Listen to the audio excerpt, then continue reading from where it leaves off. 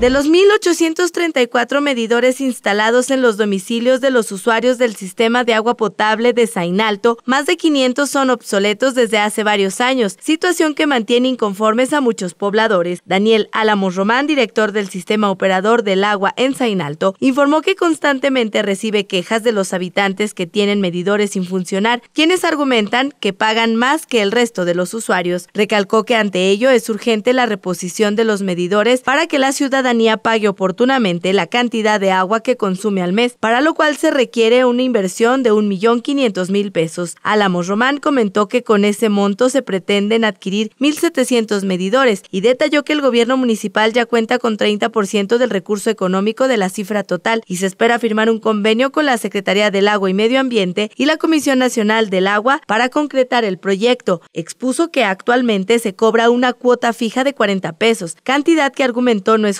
para quienes utilizan al mes más agua de la autorizada, que va desde 0 a 100 metros cúbicos, lo que equivale a 100 mil litros. Daniel Álamos argumentó que al instalar los medidores se tendría mayor control sobre el uso del agua y quienes la desperdicien o gasten en demasía deberán pagar 4.65 pesos por cada metro cúbico más de agua. Con información de Alejandra López, denuncia ciudadana.